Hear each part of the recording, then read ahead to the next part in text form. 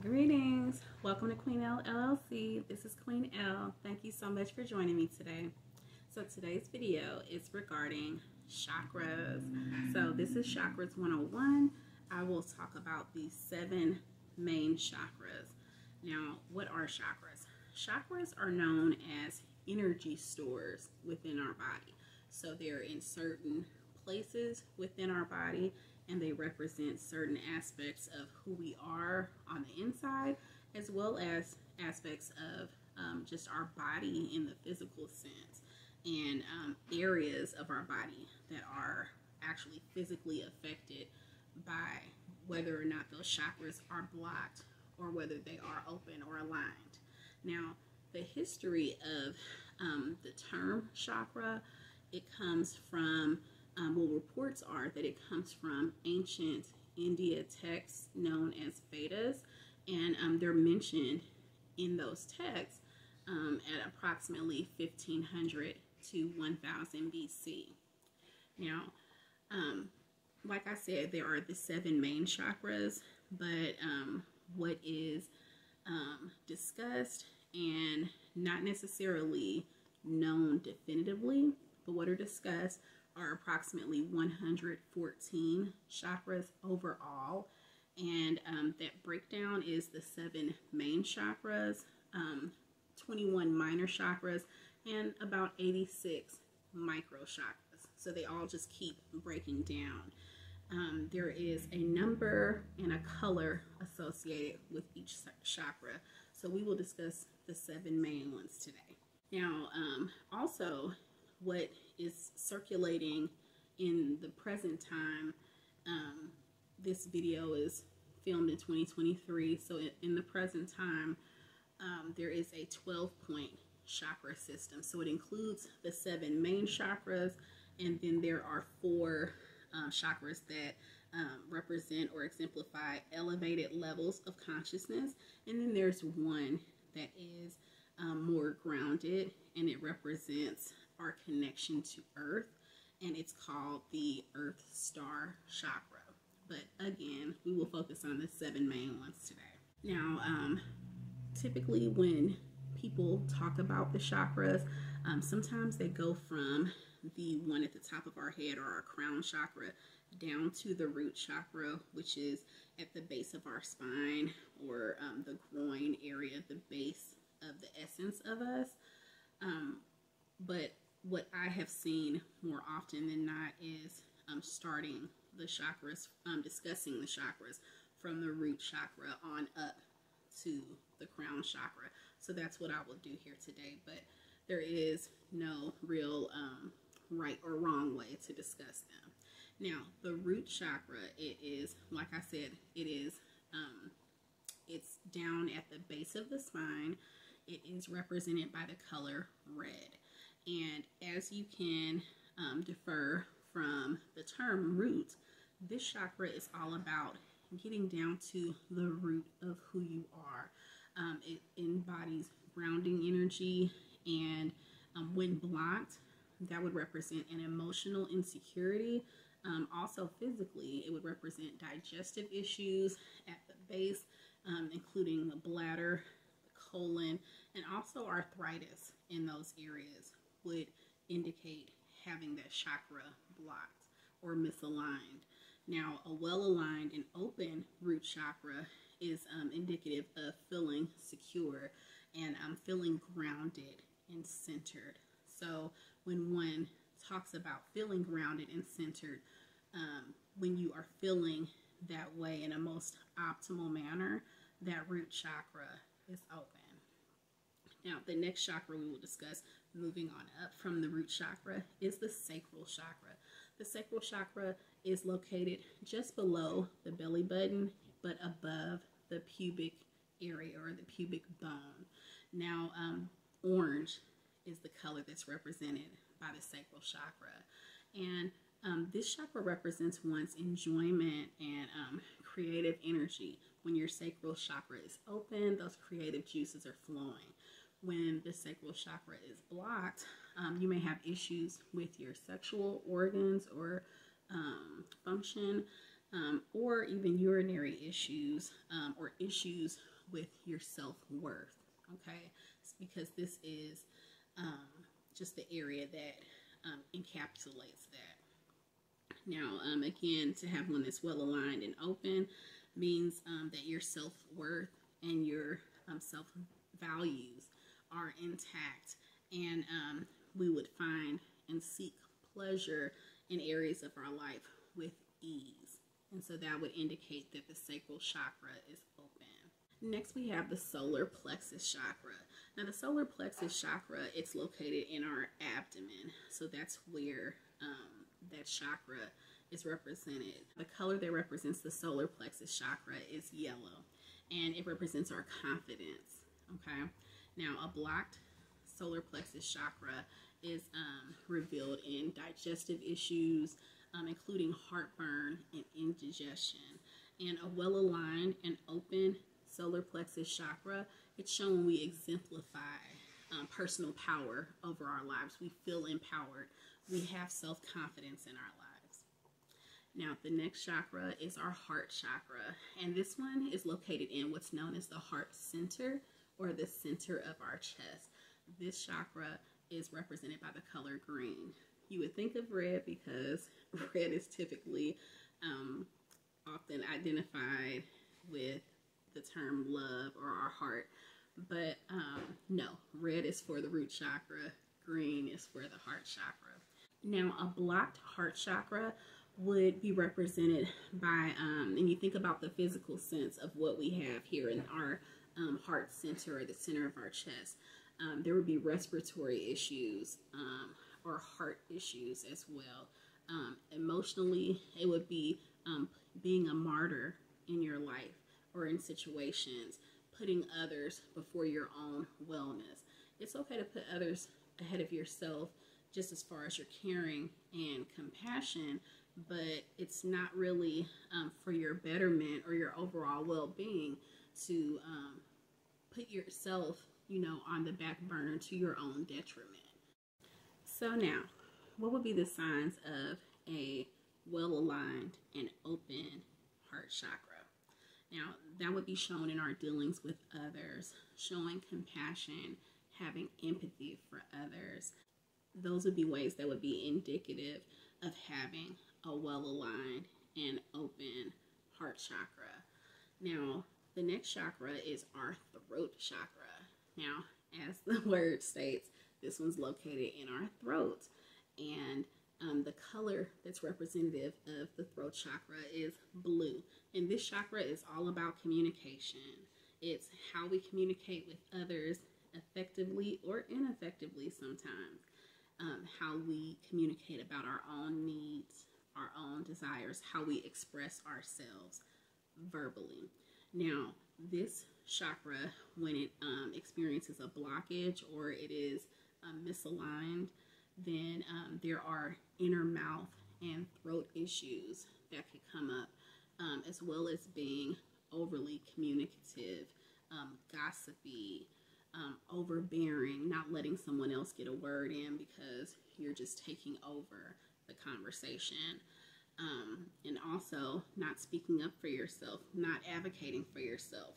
Those would be ways that um, an misaligned or a blocked throat chakra would um, be represented in one's life. Now, in the um, converse, having a well aligned and an open throat chakra would be indicated by feeling empowered to speak up for yourself, advocate for yourself. Again, this is verbally um, expressing yourself in an effective manner, being an active listener. So, um, being thoughtful and tactful about the way that you communicate with others, and obviously not gossiping, not um, cutting people down with the words that you say. Okay, now um, the third eye chakra is next. So, that one is located here between our eyes, and this chakra is also known as the brow chakra for that reason. Now, this chakra is represented by the color indigo, and it represents our intuition and our imagination.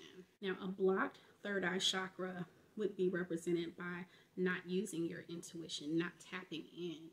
um, not being reflective about things going on in your life. And um, a well aligned and open third eye chakra would be represented by someone who actually trusts and follows their intuition. Now, the last of the seven main chakras, or the first, depending on the order that you go in, is um, the crown chakra. That's located at the top of our heads or our crown. And this color um, that represents the crown chakra could be violet or white, depending on the um, lane of thought that you're in. Now, this chakra is represented by intelligence and being aware, um, also being connected to higher learning and elevated consciousness. Now, remember, I said that there is a 12 chakra um, system that is going around right now, and it includes four elevated states of consciousness, like heightened consciousness. But the seven main chakras have the seven, if you're counting from the root up um, being the crown chakra and that chakra representing um, higher state of um, intelligence and consciousness and awareness. Now, a blocked crown chakra um, would show up as narrow-mindedness, um, just being closed-minded, being stubborn in your way of thinking, while a well-aligned or open crown chakra would be um, demonstrated by um, having enlightenment and having an open mind in the way that you view others, the way that you view yourself, the way that you view the world. Okay. Now, how do we identify if we have chakras that are out of alignment and um, which ones there are that would be out of alignment potentially? Now, the easy way, so there's an easy way and it's a more um, time you know, consuming way.